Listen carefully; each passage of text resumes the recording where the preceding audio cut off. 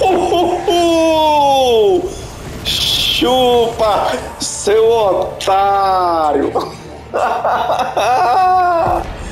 Foi pro saco!